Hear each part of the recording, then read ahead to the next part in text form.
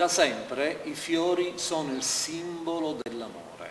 Il 19 e il 20 di aprile in tutte le piazze italiane troverete l'ortensia, un fiore che aiuterà i bambini di tutta Italia attraverso il telefono azzurro.